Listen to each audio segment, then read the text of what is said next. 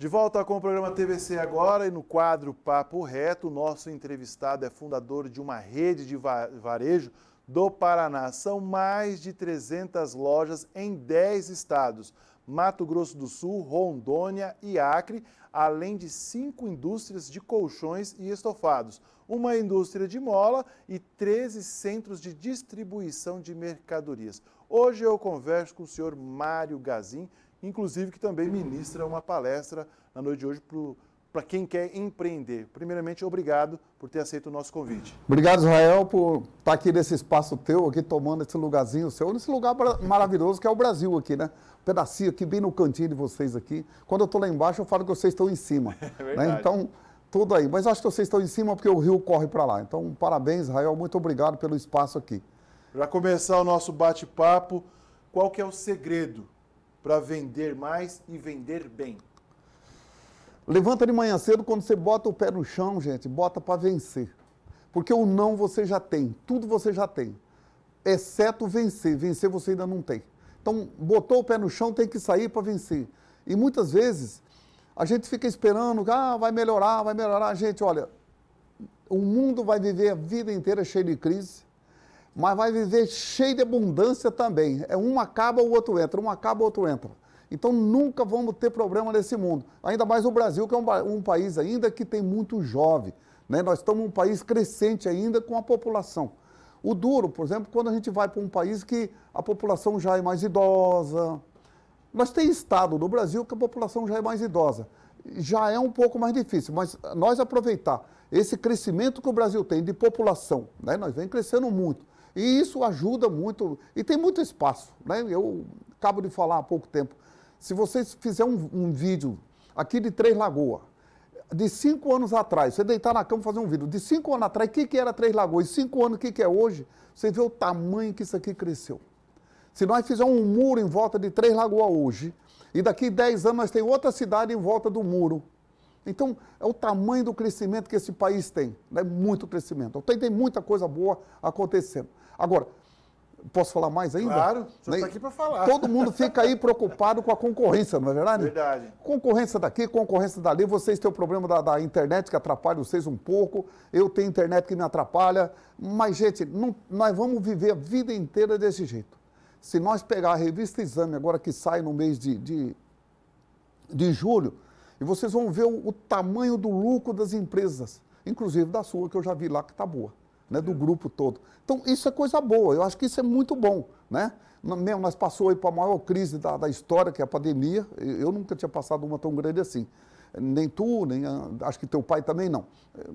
Tem lá o pessoal da Segunda Guerra, mas isso em 1945. Então, a, aí a gente tem aí essa mudança, essa transformação. E eu tenho que dizer com toda certeza para vocês, o mundo mudou. Mudou por completamente mas eu sou feliz porque eu estou aqui. E você está também. Nós temos oportunidade de aprender muito daqui para frente. E justamente sobre essas oportunidades que o senhor está citando, de crescimento, é o momento certo para se investir, não só em Três Lagoas, mas em outras praças? Em todo lugar, eu acho que tem espaço. Né? Eu, eu comecei numa cidadezinha pequena, em 1970 ela tinha 33 mil habitantes, em 1990 ela tinha 4 mil pessoas só. 4 mil, Israel. Na minha cidade sobrava tudo. Até mulher sobrava. Né? Sobrava as crianças que os pais não levavam embora. Aqueles filhos que era meio ruim, ficou lá. E eu tinha uma amizade com o pessoal da Itália, eles vinham aí e falavam, puxa vida, mas aqui tem muita criança de rua numa cidade pequena. Acabei montando uma escola para tirar essa molecada da rua.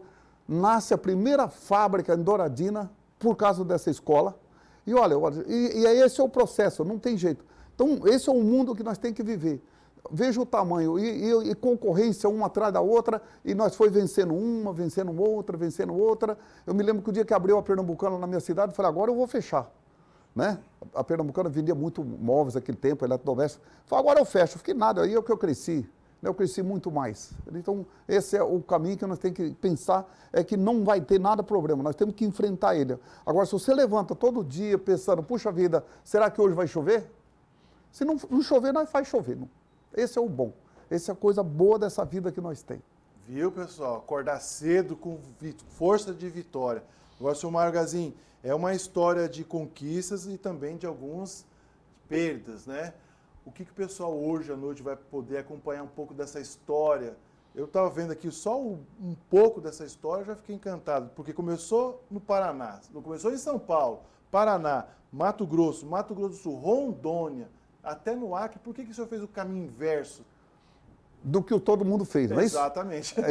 É, agora, isso era eu e Samuel Crem.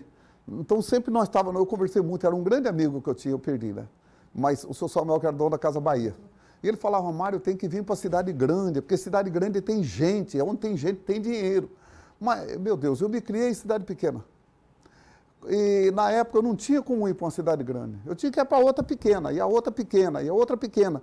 Então eu fui para um mundo diferente. Eu, por exemplo, a nossa loja em Campo Grande, faz dois anos, dois anos e pouco eu tenho loja em Campo Grande. Eu não tinha Campo Grande. Eu passava meus caminhões, passa 40 vezes por dia na rodovia, eu não tinha ainda. Né? Mas fui entrando, e todo mundo me falava, Mário, você só vai bem porque está em cidade pequena. Olha, eu abri uma fábrica, eu fui para abrir na, na em, em, Angola, na África, porque eu, tinha eu já vendia muito na África. Então eu falei, vou abrir uma fábrica lá. Mas eu fui lá, eu não fui bem recebido pelo governo africano. Aí eu voltei e falei, vou abrir uma fábrica então na Bahia.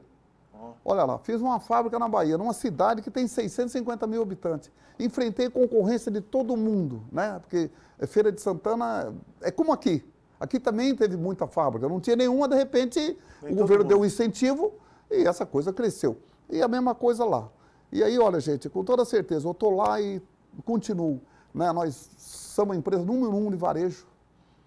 Somos aí a quarta melhor empresa para funcionário trabalhar. Luto para ser a primeira, se Deus quiser, um dia. No Paraná já sou por 10 anos consecutivos, eu sou a número um. Mas no Paraná, eu queria ser o Brasil todo. Trabalho para isso. E tem que defender essa bola, não pode ser. Eu já estou aposentado, a Gazin faz sete anos, eu saí da empresa. Tem o pessoal que está tocando. Né? Mas ainda opina? Está opinando ainda ou não? Ah, de vez em quando tem que xingar um. É? Né? Mas isso é pouco, eu, eu só xingo um. É? Né? Não xingo todo mundo. Ô, diretor, calma aí, diretor, só um minuto, porque é uma história fantástica. São 9.500 funcionários. E o senhor escolheu só um só para xingar? Só. Porque o resto todo respeita ele. Ah, então tá explicado. Então, é, é, eu acho que isso é uma coisa boa. Eu me lembro que quando eu falei que eu ia me aposentar com 65 anos, né? Eu tive que me preparar. Como que é o Mário Gazin ficar parado? Um homem que não para um minuto, né? Eu de jeito nenhum parava. E como que eu ia parar? Eu vou morrer. O dia que eu parar, eu morro. Não, mas eu fui me preparando. Como que era o Mário sentar atrás de uma mesa e ficar sentado o dia inteirinho sem levantar? Ou é ficar na cama eu não fico, não. Mas sentar ali e ficar ali olhando. Né? E aí, quando eu saí da Gazia, eu falei, eu tenho que sair do meu escritório, eu não posso ficar aqui.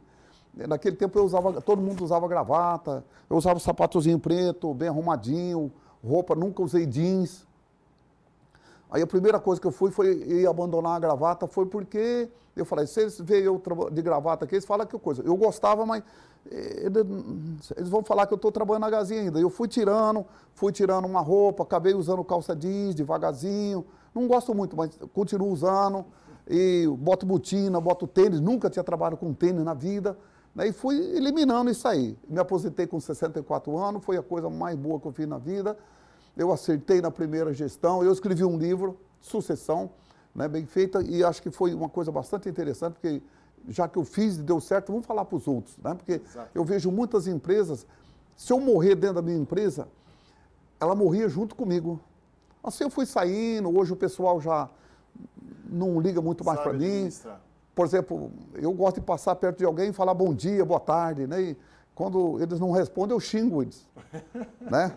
Porque eu falo assim, quando eu passo falar bom dia para você e você não me respondeu, você está morto para mim. Exatamente. Então, eu, hoje eu já tenho muitos que não falam mais. Né? Ontem eu fui dar carona para três pessoas lá, estava essa garoinha, fui dar carona, falei, ah, não, não vai não. Falei, benção a Deus, eu já estou ficando esquisito aqui. Né? Isso é coisa boa, acho que a gente tem que ir largando mesmo as coisas e vai acontecendo. Agora, no dia 18 de, de agosto, vai ter mais uma coisa que essa eu não posso falar aqui ainda não, mas é uma... Não, não pode falar, é... estamos entre amigos. Fica tranquilo. Meu entre Deus, amigos. Mas o mundo vai ficar sabendo. Ah, não. Mas Detalhe do, é, no, dia, no, dia, no dia 18 agora, eu vou entregar, eu não vou ser nem conselheiro da família mais. Eu vou sair fora de tudo. Porque eu acho que é mais um. Se eu morrer lá dentro da família, Aí o Mário fazia isso, o Mário fazia. Eu quero sair. Vou sair. Então no dia 18 eu entrego até o cartão que eu tenho de. O cartão de. que eu gasto aí quando a Gazin me paga, eu tenho o cartãozinho, vou entregar até o cartão, não quero nada mais. Eu vou ficar fora, fora de tudo. Tá. Aí eu vou parar de xingar.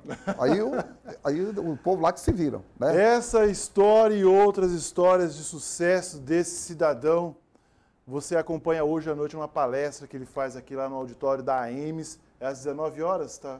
É isso. 19 horas. 19, 19, acho que é isso mesmo, é 19 horas. 19 horas. Enfim, este é o Mário Gazin, grande empresário, uma história fantástica. Já aproveita que estamos entre amigos, liga para esse um e fala assim: olha, eu fui num programa fantástico que vende, chama TVC Agora com Israel Espíndola. Olha. Eu empresto até meu celular. Não, mas eu vi você vendendo aqui agora há pouco. Eu quase falei, vou comprar um bicho desse na hora que eu sair daqui. Tá vendo aí, ó, Israel Pronto. Espíndola. Não, parabéns, não, parabéns, Israel. parabéns aí por todos vocês. E acho que, olha, maravilhoso. Sua TV está fantástica. Obrigado. O pessoal já tinha me falado no caminho, né? É? Eu só não vinha ligado porque no, no carro não pega, mas tava, eu já sabia que aqui a coisa era isso. É muito bom. Parabéns, Israel. Deus te abençoe pelo espaço que você me deu aqui. Que isso, muito obrigado. Bom, esse é o Mário Gazin, como já falei, né? Palestra hoje à noite no auditório da, da Universidade AEMS. Fantástica a história de um cidadão que realmente é de sucesso. Vou para um rápido intervalo e volto já.